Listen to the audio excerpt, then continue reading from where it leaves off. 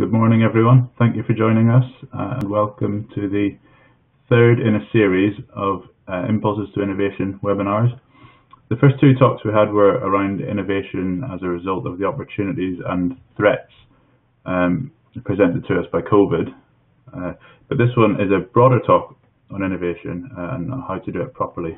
John Clegg uh, is an expert in the field and um, he has a, a, book that he's recently published, which is well worth a read for anybody interested in, in innovating, uh, whether you're a would-be innovator or, or somebody who, who, puts it into practice quite a lot. Um, before I introduce John, I'll just say if you have any questions, please type them into the Ask a Question box, and we'll do a Q&A session at the end with John. Uh, but without further ado, I'll, I'll pass over to John to start the uh, presentation. Thank you. Well, thank you, Stephen, and good morning, everybody. Uh, my name is John Clegg, and uh, in the coming minutes, I'm going to be talking to you about uh, innovation, uh, how I believe it relates to strategy, and the impact that I see coming from external stakeholders and, and their growing impact, and the way that we need to think about people other than customers and suppliers and competitors as we think about how we're going to innovate in the coming years. A lot of the content in here is available on my website. I blog it for free. Uh, so if you're interested, go take a look at uh, johnmclegg.com. And I'm going to start with a personal story. Um, I've lived in a few different places in the world and I've lived a number of times in the US. And my most recent stint in the US was in Houston, Texas, which is the image on the screen. And I was offered a job in Houston in the middle of 2016 and accepted it I was ready to move down there, and just before I was about to move, I was in Houston visiting people.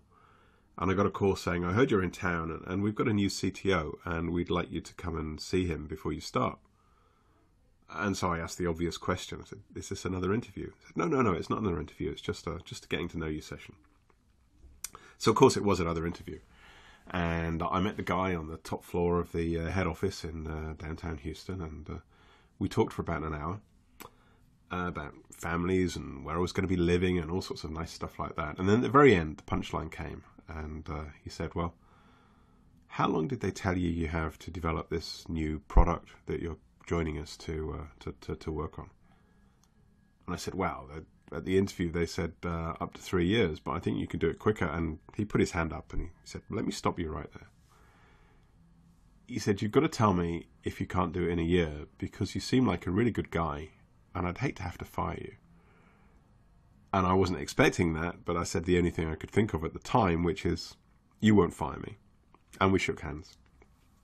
And I had what seemed like an extraordinarily long ride back down the elevator, thinking, what have I just done? Um, but I realized, as I thought about it during the course of the day, that if I just applied all the stuff I'd learned over the years of developing and selling products and services and understanding what needs were and what you know what, what, what could be left out, I could actually do it in a year. And as it turns out, we did it in 11 months and everybody was happy. So that's a personal story. Uh, and that's a kind of intro to the fact that a lot of what I talk about over the uh, coming minutes is going to be a personal view of what innovation really means and uh, how it should be uh, thought of. Now, innovation is very much about bringing uh, new stuff to um, established markets or bringing new stuff to new markets. Uh, established markets tend to be populated by incumbents and they tend to stick to what they know. They're quite stubborn and they're very hard to move. They, they, have got stuff that works and they like it where they are. Thank you very much.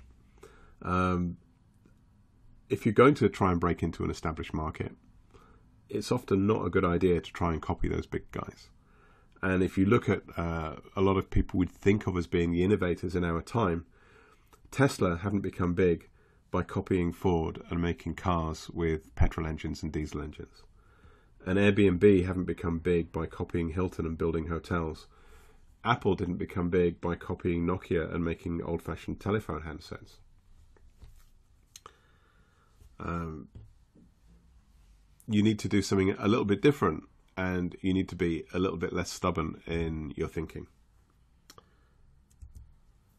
And stubbornness is definitely unlikely to be appropriate in times of uh, rapid change. Uh, there's a lot of stuff going on at the moment. We've got Brexit, we've got uh, global supply chain issues, we've got climate change, and of course, at least in the short term, we've got global inflation. And all of those things mean the environment is changing quite rapidly around us. We're literally in the rapids. And that rapid change means that rapid development and rapid innovation become the rule, not the exception. You have to think about how you're going to do things quickly. And when you're in the rapids, you really need a rapids guide. And uh, hopefully, some of the things I'll talk about in this webinar will give you at least some of the tools that that rapids guide is going to need in their rapids guide uh, toolbox. But I'm going to start by talking about what I believe innovation actually is. A lot of people think that innovation is inventing something new, having that light bulb moment where something the world has never seen before pops into the inventor's head. Um, well, let's look at Airbnb, uh, which is what the image in this slide is supposed to represent. I'm not sure that's true of Airbnb. Airbnb hasn't really created anything, or at least hasn't created anything physical. Um, it's got software, but that software lives in your smartphone or maybe on your PC, and it lives in an operating system or a browser that was developed by somebody else. They use your hardware, your smartphone or your PC to deliver a service to you. Uh, they leverage your ISP to deliver it to you, and they leverage assets, which is like things like houses or apartments owned by other people, to deliver the service to you. And they become one of the biggest accommodation providers in the world without owning any real estate. So they're a great example of innovation, and they illustrate that innovation isn't really about inventing things. It can be about taking things that exist and recombining them in a slightly different way. And uh, a, a, great quote, which um, as kind of tutor and mentor of mine at business school uh, introduced to me in this context, is on the screen here. William Gibson, the science fiction writer, said, "The future is already here, it's just very unevenly distributed. And that's a very good way of thinking about innovation. A lot of the things we need for the future are already around us. Uh, we just need to find ways of putting them together differently. And a great example of um, putting things together differently is uh, Dyson. Um, there's a guy called Matt Ridley who wrote a book called The Rational Optimist. And uh, in the book, uh, he said that recombinant innovation is where ideas have sex, and basically where ideas come together and produce something which is new and different, but which is based on those existing ideas. Um, the COVID hood, which was in an earlier webinar in this series, is a great example from a technical perspective of repurposing, taking ideas from the bulk solids industry. And a similar story is James Dyson's story. Um, he originally, um, or well, not originally, but many years before Dyson vacuum cleaners, he had a product called the Ball Barrow. And this ball barrow is like a wheelbarrow with a big thing that looked like an inflatable beach ball on the front. I mean, some of you may remember seeing it. And he had an issue with uh, manufacturing this thing because uh, the, uh, the, the powder coating for the uh, metal parts was difficult because the filters were getting clogged. And somebody said, "Well, think about using a different technology. Don't use physical filters." But he looked at uh, industrial cyclones to separate the powder from the air, and thereby he addressed his production problem with the ball barrow. And uh, sometime later came that eureka moment. He, he now had this cyclone solution in his head, and he saw a problem with his vacuum cleaner at home where the bag kept getting clogged. As, and some of you who are old enough may also remember what vacuum cleaner bags used to be like. And Dyson realized that that technology of cyclones could be used to separate dust from air in a vacuum cleaner and solve that problem inherent in existing cleaner designs. And it was that was the invention, and um, it was a brilliant one. But it wasn't something new. It was taking existing technology, and he actually repurposed it twice over. He took it from industrial cyclones to uh, cleaning the, uh, the, the powder coating machinery for his ball barrow to putting it into uh, the, uh, the, the vacuum cleaner. So repurposing of uh, existing ideas. Now, I tried to find a definition of invent uh, of innovation. Sorry, and um, the Oxford English Dictionary it, it kind of helps us, uh, especially by saying introducing something new, especially a product. So that gives us a bit of clear water between innovation and invention. It's not about coming up with the idea, it's about turning it into a product, according to the OED. And then a couple of heroes of mine, and hopefully heroes of yours too.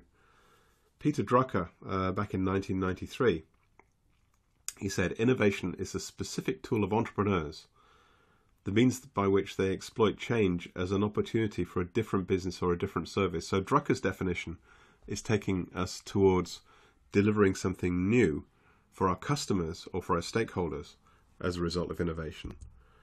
And then Michael Porter, I think, really nailed it a new way of doing things that is commercialized. So I think Porter's definition really gets us to the nub, which is the fact that innovation isn't inventing something, innovation is actually commercializing things. And I'll come back to this later, but I believe that innovation is in fact a value chain uh, where needs and capabilities, needs of customers or stakeholders, and capabilities of your own organization feed into this chain, create value for the customers and stakeholders, and importantly, capture value for your own organization.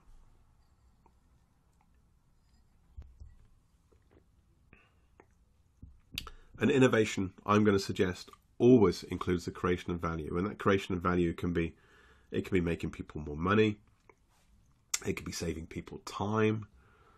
Uh, it can be making tasks easier. It can be improving society. It can be making people happy. It can be uh, appealing to higher level emotional or uh, personal values. It's never just about the idea. And uh, I'll finish with a quote by Peter Drucker here.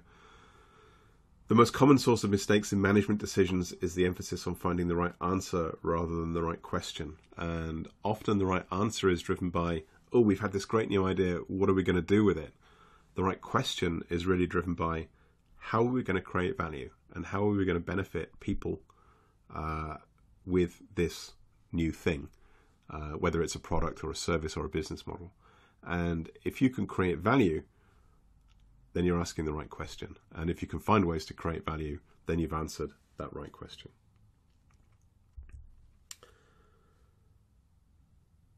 So let's look at how not to do it. Um, this is a picture of the Ford Edsel.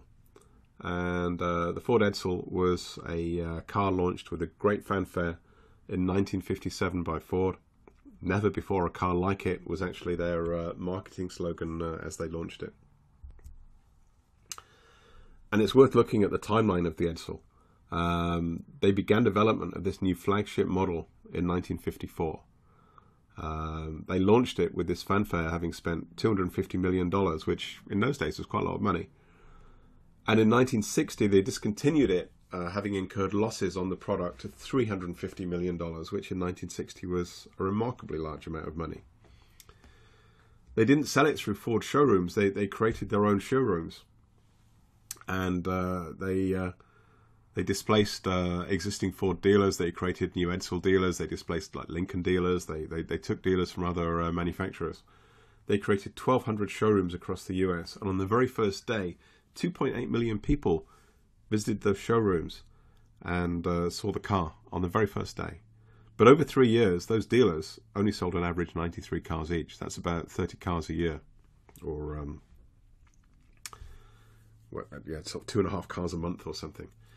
It was a remarkable commercial failure, and the reason it was a commercial failure, without going into too much detail, is that Ford invested all that money in what they thought people wanted. And what they thought people wanted, to be fair to them, was informed by research they'd done about 1950. Um, and the development of this new car was delayed by um, issues around the uh, Korean War and short term development and uh, economic issues in the US. And by 1954, when they actually started working on it, the market had changed. People didn't want these huge flagship vehicles anymore. They were getting more concerned about economy and more concerned about fuel prices, and they, they wanted smaller cars, more compact models. And their market had disappeared, but it seems like Ford never actually bothered to check. They never went back to the customers and said, Is this what you want? They just produced it, assumed it was what people wanted, delivered it with a big fanfare, and then were surprised when nobody bought it. And the message is that this great idea you have is useless unless it provides value for a customer, something a customer needs, or something that another stakeholder needs.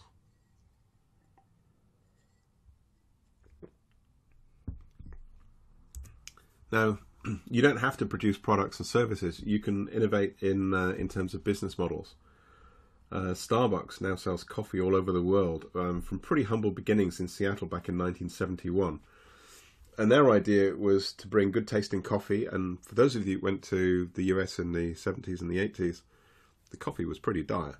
Um, but after bringing to trying to bring good tasting coffee and recreate the atmosphere of an Italian espresso bar in the US, they changed the customer experience and they, they, they created an experience around drinking coffee which was uh, accessible, comfortable, fairly unique, but all the time retaining the good coffee. And they transformed the expectations of American coffee drinkers and effectively create a new market for themselves. So you don't just have to think about innovation in terms of uh, products and services, but think about innovation in terms of um, business models. Coffee wasn't a new product Selling coffee wasn't a new service, but providing coffee to people in the way that Starbucks did was a new business model, and they were successful as a result of that. Um, most companies have got a chief technology officer or a vice president of technology or a director of engineering or somebody who's responsible for innovation in technology. If you think about your own company, who's responsible for innovating business models? Or do you just assume that the business model is always going to be the same and is going to be perpetuated uh, forever? And how many companies do you think have somebody that's actually responsible for thinking strategically about new business models? And uh, I'm going to suggest that it's not very many.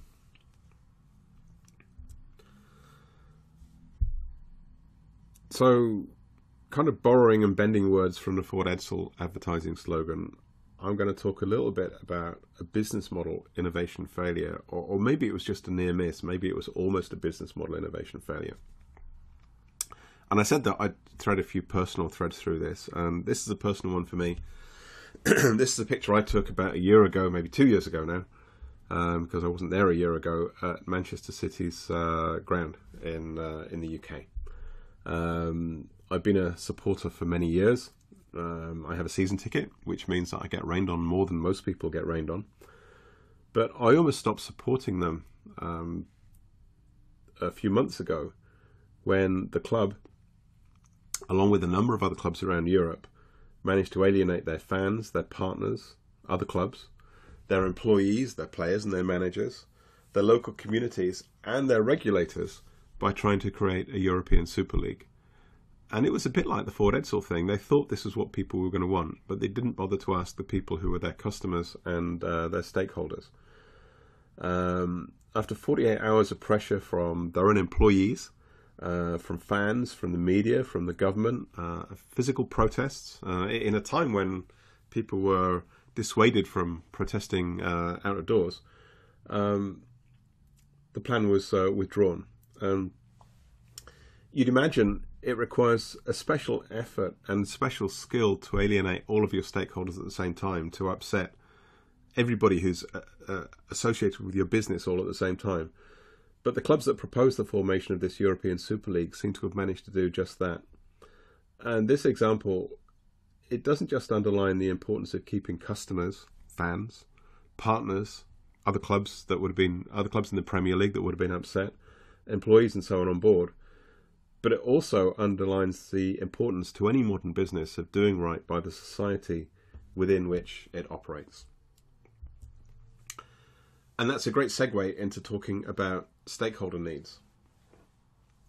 Um, stakeholders, external stakeholders, including NGOs like Extinction Rebellion, as uh, indicated in the uh, image here, are becoming increasingly important to us as we begin to think about how we uh, how we address the needs of broader society and not just uh, customers and uh, uh competitors, and, and how we're forced to think about the needs of uh, broader society.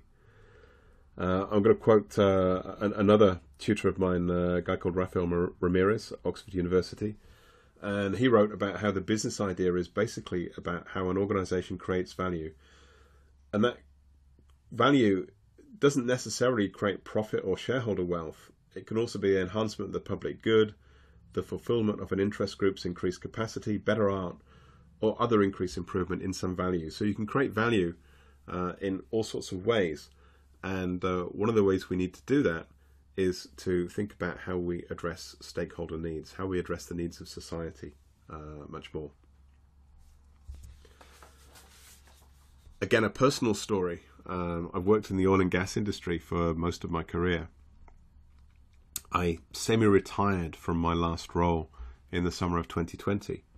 And towards the end of last year, I began to put together some proposals for development of some new technology for oil and gas drilling with a colleague. And uh, we went to speak to a few people about it. And we were advised actually, I wouldn't do this if I were you, because people don't invest in hydrocarbons anymore. People don't invest in fossil fuels anymore. And uh, we were kind of okay because we saw the opportunity to achieve a number of things to to achieve our individual needs by gaining investment for development of the technology and to do a bit more good by repurposing it and uh, changing this scope and changing the specification and identifying an opportunity to develop technology for the geothermal industry where we can get investment or where we, we're currently getting investment. And that's a personal story, but it illustrates the fact that there are stakeholders other than customers and suppliers and competitors who can prevent you from doing things. And uh, investment is a uh, big one.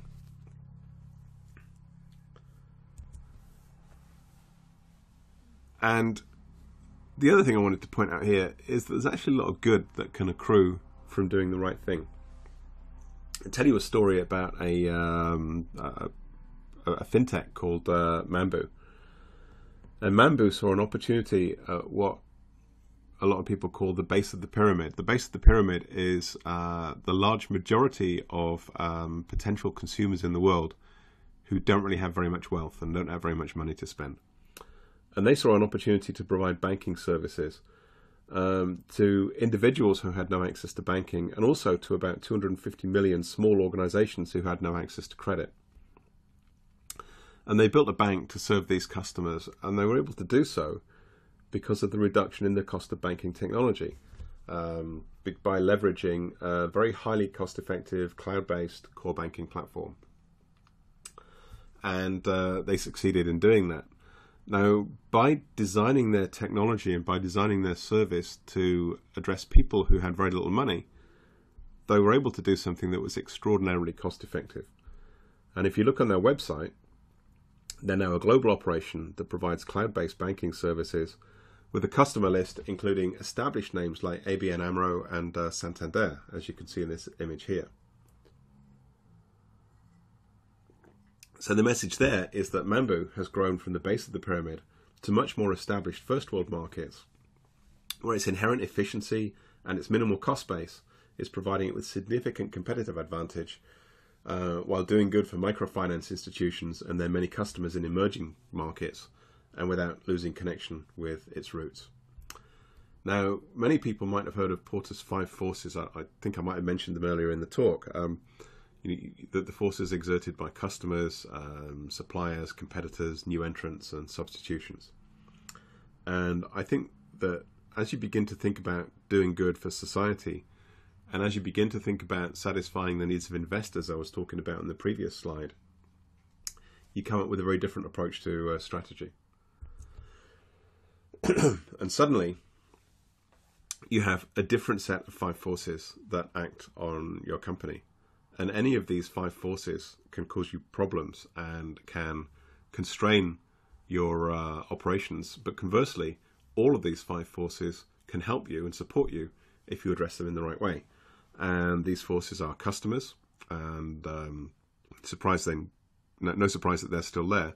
But customers' attitudes are changing. Uh, maybe people want to buy renewable energy now. Maybe people want to buy electric vehicles. Not necessarily doing it for the right reasons, but they're still changing their um, their, their, their, thoughts and their philosophies and uh, and, and their values are changing. Uh, regulation is not always the strongest of powers, but regulators do have influence, and I think that might have been the case in the in the case of the European Super League. I think threats from the UK government certainly helped to uh, dismantle that particular project. I talked about the withholding power of investors. And similarly, there's also potential withholding power from uh, employees. If employees don't like your values, I think they're increasingly choosing not to work for you. And if you happen to be in an industry like oil and gas, where um, it, which is almost becoming the new tobacco industry, uh, where it's becoming unpopular, it's increasingly difficult to persuade young people to come and work for you, and you have to think about how am I going to address that. And of course, NGOs, uh, people like Extinction Rebellion, we saw Greenpeace. Um, there are many, many NGOs who can have quite a disruptive influence on your business um, if you don't engage in the correct way. And I cover this in a lot more detail in a book I wrote, which I'm going to talk to you about uh, later on. But for a specific example, if I refer you back to um, the, the COVID hood, which was talked about uh, in a uh, previous webinar in this series, I think a lot of the issues we saw there were actually regulation issues, and uh, they were actually non-technical issues. And what if we if we had a narrow focus on the market, what we think of as maybe non-market issues, which caused some of the biggest uh, challenges there. So I'm going to move on. Uh, I'm going to talk about um, risk and uh, uncertainty. And I'm going to illustrate um, both of those with the um, unfortunate experience over the last few years of uh, Boeing. Um, we both know, uh, sorry, we all know uh, what happened with the Boeing 737 MAX and some of its early flights. And uh, I think that aircraft is in the process of coming back into service, but I think its reputation was always going to be tainted. And um, I think, without going into too much detail, what happened with the 737 MAX, uh, you know, the, the, dynamics of the aeroplane were changed by fitting larger engines, uh, which had to be forward of the wing, as you can see in the picture here, and therefore uh, changed the balance of the aircraft, uh, therefore changed the control system. And everything that happened there was really stuff that Boeing designed and Boeing did. Um, and so it was stuff that could reasonably have been foreseen if you'd have been inside the company, in my opinion. And probably is stuff which falls into the domain of, um, of, of risk. Um, but if you think about risk and uh, uncertainty, there's a guy called Frank Knight in 1924, and Frank Knight said that a risk whose likelihood can be estimated or measured is not an uncertainty at all. And that's why risk management can be very useful. And risk management, I'm sure, could have been quite useful to Boeing. But the other thing that hit Boeing over the uh, last few years, of course, was COVID 19 and the demand for uh, aeroplanes and parts for aeroplanes, and much of their business collapsed as a result of travel bans, uh, which we're still seeing today all over the world uh, in response to uh, the emergence of COVID and more recently to the emergence of, uh, of new variants. Um, and it would be very hard for a company to do risk analysis, traditional risk analysis and risk management, which would account for things like uh, the emergence of a pandemic. So that true uncertainty uh, is dangerous to companies.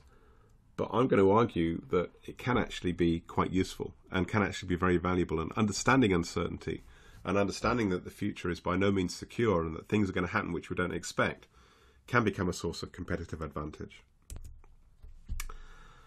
And the reason it can is um, this phenomenon called perfect competition. And um, Peter Thiel, one of the founders of um, PayPal, amongst other people, has described this. And perfect competition is basically where everybody knows everything. Everybody's got access to the same skills, the same knowledge. There are no barriers to entry. There's no ability to differentiate. Low prices, low margins, little ability to capture any value.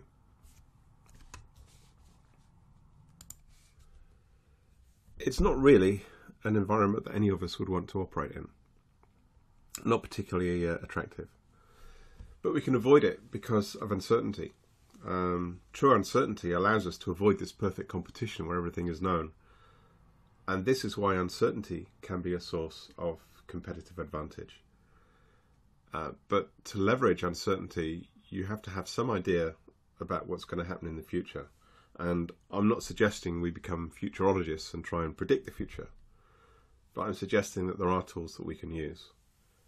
And one of those is scenario planning. Uh, scenario planning is all about the creation of multiple, equally plausible, and this is really important, equally valued visions of possible futures, that there's no preferred future and there's no most likely future. With scenario planning, you have three or four um, different futures, radically different futures, any of which is likely. And what scenarios are is effectively stories that are being told to you from those possible futures. And they can be really useful because what you can use them for is to develop and to test and to future proof different strategies. So you could take your existing strategy, say, is it going to work in any of these different futures? And if the answer in any of them is no, then maybe you need a different strategy. Uh, Shell does it really well. Uh, this is Shell's latest set of uh, climate change uh, scenarios, um, where they see the world is going to decarbonize uh, over the next uh, century or so. But as they say, the issue is speed, and um, depending on whether to do it quickly or slowly, we can limit global temperature uh, rise to anywhere between 1.5 and 2.5 degrees Celsius, uh, according to Shell. And they say, you know, any of these is equally likely. Any of these could happen. What happens to our business in each of these three different uh, scenarios? Now, I'm not going to talk about uh, scenario planning in detail because uh, there are many different ways of doing it. Um, I'm aware of uh, at least eight I've got a preferred one, uh, but if you need to learn about it, the best thing to do is to read a book, uh, is to go on a program. I attended the Oxford Scenario Planning uh, program um, at Saïd Business School in Oxford, which was an excellent program, or talk to somebody who's got experience in in developing scenarios. It's it's a bit of an art, but it's very worthwhile if you um, if you haven't addressed it previously. Right. I now want to talk a bit about uh, strategy um, because I don't think it's a good idea to have an innovation strategy. Um, I think innovation is one of those things that can't be bolted onto the side of your organization. It has to be a fundamental part of what you do, and therefore innovation must actually be a key part of your uh, must, must be implicit in your strategy. Your strategy must include innovation, and the two shouldn't be uh, separable. And uh, Michael Porter taught us about strategy. He said it's about being different to others, about creating fit between your activities. And I think I really love this part of it. It's about being clear what not to do. And um, I think that that fit includes matching needs and capabilities. So in a minute, I'll come back to that value chain I talked about earlier. But customer and stakeholder needs and capabilities that you have if you can match those together, then you have the, the basis, the genesis of a uh, successful strategy.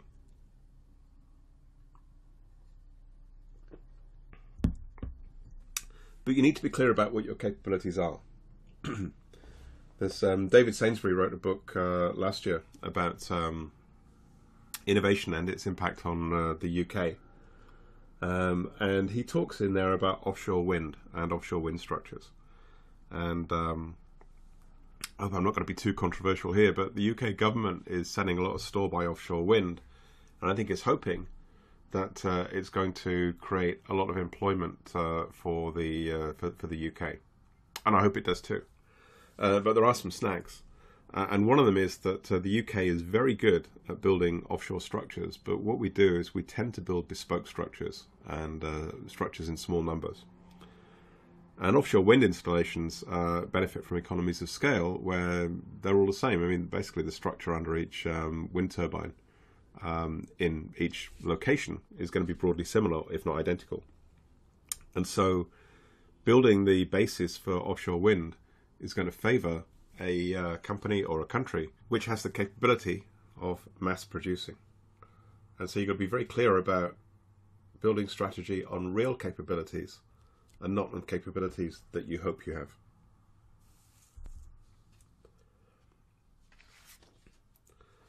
So I talked about fit from Michael Porter a minute or two ago, and that fit must align those capabilities and needs.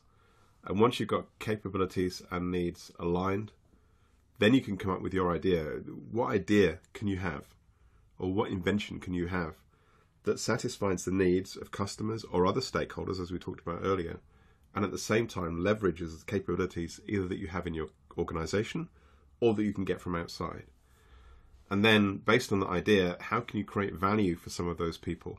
And once you've created that value, how do you capture some of the value yourself? And I think there are six ways to create value. Um, business model on innovation we talked about in the context of Starbucks is changing the operating model, basically using the same stuff but changing the operating model. Um, product or service innovation is bringing in new technologies and new solutions uh, by changing exist- changing existing products or services.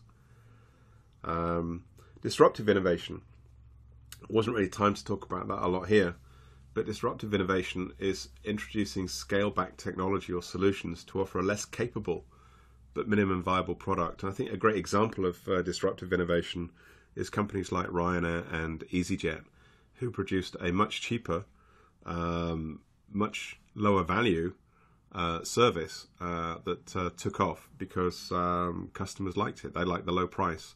And they didn't necessarily need the reserved seats, the in-flight meals, or the, you know, the, the, the comfort that the more established airlines were providing. So that was uh, a great example of understanding what's the minimum value that somebody will accept, and then pitching a product at uh, at that point. Um, systems innovation is looking at what goes on outside the company and changing how processes interact with each other. Process innovation is about improving techniques inside your company uh, to um, improve your internal processes. And of course, social innovation is improving conditions for others which can lead to uh, benefits in terms of um, entry into more established markets, as we saw in the example of Mambu. And I think there are three key tests for your strategy as it encompasses innovation. One of them is that it must create value in one or more of those six ways by meeting one or more clear needs of your customers and or your stakeholders the delivery of value must not depend on capabilities that you don't have. That's really important. And you also have to have a clear way to capture value, to take something for yourself that's acceptable to your customers and or your stakeholders. If you can't capture value, there's no point in doing it. And normally we think of value capture in terms of uh, profit, but there are other ways of capturing value as well. And in terms of innovation and the way that you develop your strategy and execute your strategy, one of my favorite quotes uh, attributed to Albert Einstein, I don't know if he actually said it, I suspect he didn't. Everything should be made as simple as possible, uh, but no simpler. And I think that is really my approach to innovation is make your processes, make your systems, make the way you think about things as simple as possible, but no simpler. Now, I've I could stop here, but I wanted to say a word or two about remote working. And I saw an article in Harvard Business Review recently that compared the actions of toddlers as they learn with the actions of new companies trying to enter new markets. And when toddlers are learning, they don't try and compete and outdo each other. They copy and mimic each other and they try and learn from each other. And that's very much the way that startups operate, um, but not so much the way that established companies uh, operate. Um, route 128 outside Boston, for those of a certain age, is the route that influenced Jonathan Richman's song Roadrunner, um, which was kind of one of the themes of my uh, teenage years. But more importantly, Route 128 was also the center of the technology industry in the US, when Silicon Valley was mostly still farmland. But gradually, Silicon Valley forged ahead and overtook Route 128, which was once known as America's technology highway. And why did it do that? Because the companies in Route 128 were closed and isolated, and they held highly, tightly to technology. And their employees had very few places to mix socially. They, they didn't mix in bars after work, or they didn't uh, socialize at the weekends. They worked for a company, they went home, they went back, and they worked for the same company. And so ideas didn't spread, and that glue that makes clusters sticky and makes companies continue to cluster in a particular location was absent. Silicon Valley was the opposite. Silicon Valley had the, an abundance of bars, clubs, socials, after work clubs, and other hangouts. And as a result, ideas flowed between individuals and companies, and innovation was primed. It's clear which location was the winner, And it's equally clear, to me at least, that the success of Silicon Valley came from the social migration of ideas and the cultural environment that enabled that social migration.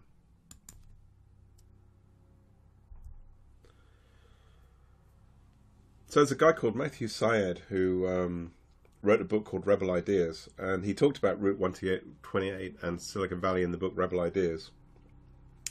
And he writes a newspaper column for the Sunday Times, and in that column last year, he re- revisited that story and he pointed out how COVID 19 made everywhere look like that Massachusetts described in his book, with employees isolated from social contact and not mixing between or even within companies. And a lot has been said and written about the death of the office and the death of the city and a future in which knowledge workers stay at home and communicate through Zoom or Teams or some equally impersonal method. And I'm going to kind of paraphrase Mike, Mark Twain here.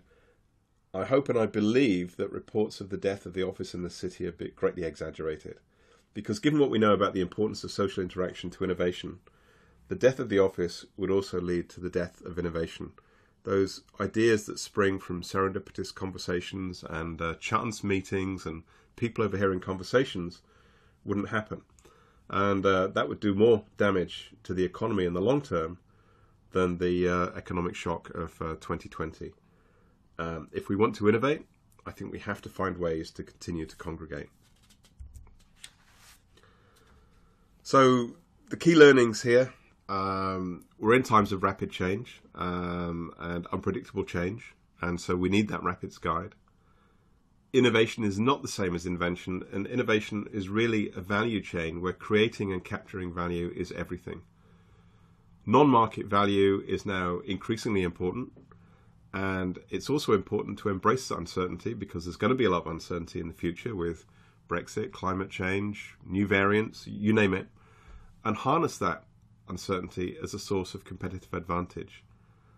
Collaborate with people, don't be protective, don't try and go it alone, but use as much input as you can and use as many capabilities and resources as you can and collaborate with people. We have to collaborate in order to innovate. Now, if you want to know more, um, I wrote a book uh, which has got a lot more detail and a lot more concepts in than the uh, the, the, last 40 minutes of uh, talking. Um, it's available um, through normal retailers. Um, on my website, there's a bookstore tab, and that will take you to places where you can uh, get hold of the book or an ebook uh, if you happen to be interested.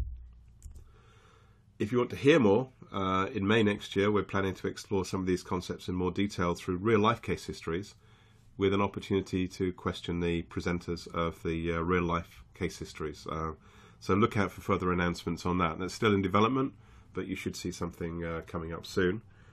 And with that, I'd like to say uh, thank you for your time and uh, attention.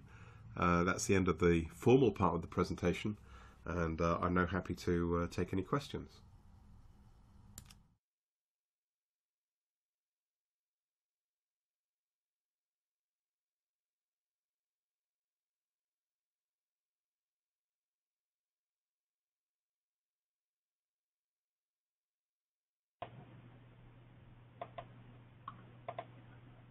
Thank you, John, for that uh, very informative presentation. That was uh, very enjoyable. I think everyone will agree. So I've got a few questions um, that I'd like to ask you. Uh, I'll also start off with a, a, quote that's been sent in that may also have been Albert Einstein. I quite like this one. It's um, innovation is the art of turning ideas into invoices. Uh, I think I'll be borrowing that one. But we'll oh, I love that. I'll, be that one too. I, hadn't come across that one before. Um, but the first question I've got is, um, what's the single most important issue, in your opinion, that can either impede or support innovation? Oh, thanks. That, that's a good question, right?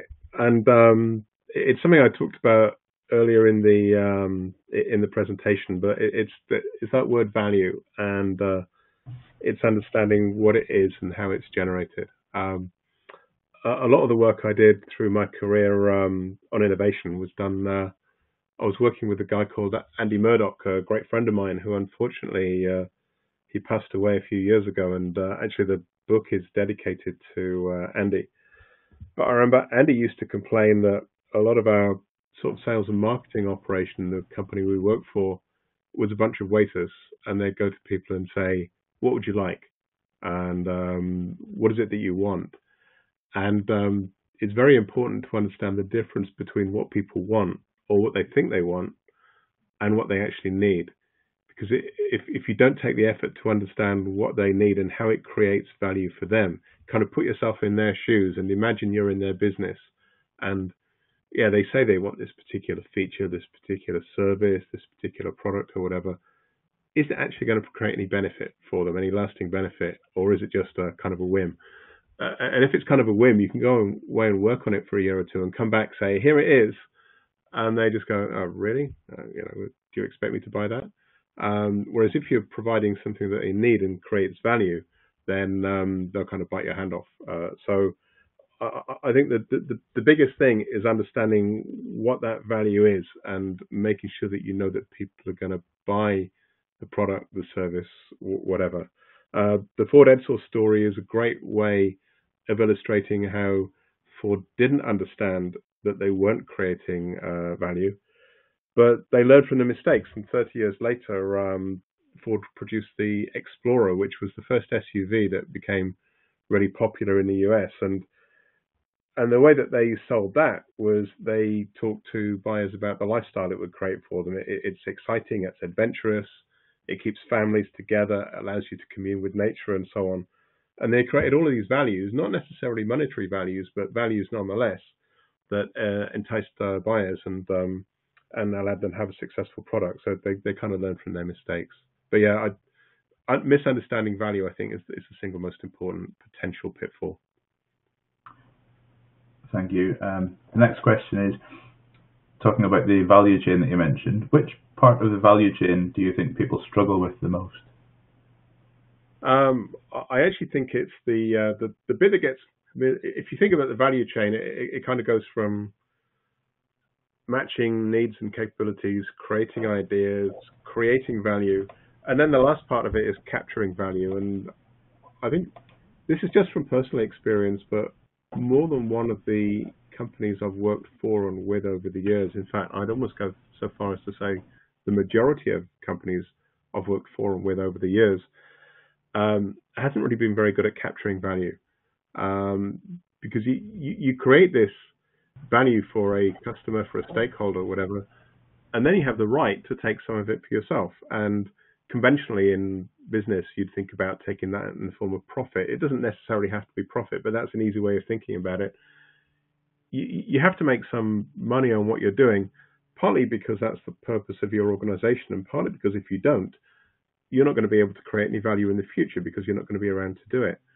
And I, I've seen so many companies underestimate the value that they create, not understand the value that they create, and then fail to, uh, to, to, to capture that value. And maybe a couple of ways of thinking about that. One of them is if you really understand the value that you create for a customer or for a stakeholder, you basically can price up to the maximum you can charge is the value that you create. If you charge more than the value you create, then nobody's going to be interested if you charge slightly less, then you've got a fighting chance of being able to sell something. But normally you charge significantly less, so, so some a, a, fraction of it. But understanding what the value you create is allows you to uh, understand how much value you can capture. Therefore, allows you to uh, price things correctly. And the other thing I've noticed, I didn't talk about it in the um, the talk, but I have written about it, is studies that show that the most reluctant people when it comes to increasing prices are quite often your own sales organization. And the least reluctant people when it comes to increasing prices, although they might protest a bit, are customers. And the reason why customers are generally okay with uh, price increases is because they understand the value that you're providing and they can do that mental calculation. Yeah, this is still worth it for us. And I, I think the complicated reasons why sales organizations don't always like to increase prices, and I think some of those are around short-term thinking and short-term incentives. But I fear that sometimes it's actually around not understanding what the value is that's being created. Okay. Uh, and uh, another question about obviously innovation is is a, a, journey, if you like to use a cliche. But uh, what about that eureka moment? Is is there no place for that sudden flash of inspiration as a seed for innovation? Um, I, actually, yeah, I, I, I think there is, um, but I, I, think it it generally it's very unusual uh, in my experience. In fact, I can only think. Of, I'm trying to think of any times in my experience when it's happened for somebody to have this fantastic idea and invent some. You know, we've just invented unobtainium, this new material, and this is what we're going to do with it. And, and generally, those ideas they're actually seeded by um, by by some kind of requirement that comes from either inside inside the company or the organization or from the market. And uh, you know, necessity is the mother of invention is maybe a bit overused, but I think it's very true. And generally, um, there is a eureka moment, but it comes in response to uh, to some kind of a need. Um, when Isaac Newton was um, actually in quarantine, um, like I am at the moment, uh, trying to understand the laws of nature when he saw the apple fall from the tree, and um, it, it was that need of trying to understand what was going on in the world that allowed him to have that kind of eureka moment when he saw the apple fall and, and, and figure out what was going on. We talked about James Dyson earlier. Um, Gutenberg invented the modern printing press, um, and uh, that was actually driven by a need for the mass production of Bibles in uh, in Europe in the Middle Ages. And uh, Gutenberg's idea was to take an olive press and movable type that had come from uh, Korea and combine the two uh, into the modern printing press. So those eureka moments do exist, but they tend to be seeded by understanding of uh, something that is needed by society or by the market or by the individual, rather than just completely coming, you know, kind of coming completely out of the blue. Okay, and unless we get any more questions in, this should be the final question. That's a short one. Okay. What, uh, why did you write the book? Uh, actually, this is quite actually because of a eureka moment. Um, I was. Um, it's a great illustration of um, the importance of um, clearing your mind if you are trying to uh, solve problems and uh, come up with ideas. I was actually out when I was living in Houston. I was out cycling, and um, I had all these ideas about innovation and product development kind of rolling around inside my head and I was trying to figure out a way of doing something with them. And I was just cycling down uh, the, um, the, the side of one of the um, the they call them bayous there, like little rivers. And I thought I should write a book about this, and it just popped into my head. I've been very passionate about innovation for years and uh, what it is and how to do it. And uh, so I, I, thought, I don't know, I'll, I'll write a book. And I originally it was going to be one book, um, but I began to generate so much content that I finished up um, putting two together. Um, the, the first one, it, it, it, very much kind of works around the, uh, the, the content of the uh, the talk today, which is about what innovation actually is and how it relates to uh, strategy and, and how to think about it and how to think about things like value and uh, introduces the, uh, the the value chain. Okay, we actually have had another question just on the subject of that. I think you were probably about to continue on. Um, what will be the theme for part two of the book, or, or your second book, uh, if you can say?